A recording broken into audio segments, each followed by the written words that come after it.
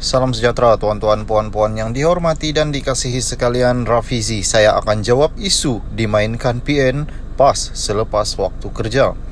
Menteri Ekonomi Rafizi Ramli berkata dia akan bercakap atas kapasiti seorang timbalan Presiden PKR hanya selepas waktu kerjanya sebagai menteri.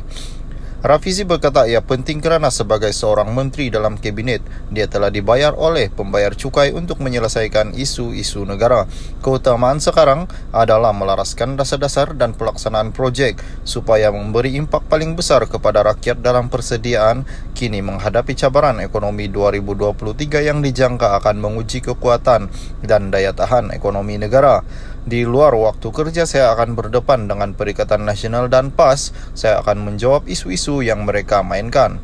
Mereka ingat jadi pembangkang ini hanya menimbulkan sentimen kebencian. Mereka lupa bahawa menjadi pembangkang juga perlu pengetahuan mengenai dasar, memantau pelaksanaan, membawa suara rakyat dengan masalah seharian mereka, katanya dalam hantaran Facebook hari ini. Rafizi turut berkata dia akan menggariskan perancangan untuk persediaan menghadapi pilihan raya negeri dalam enam buah negeri.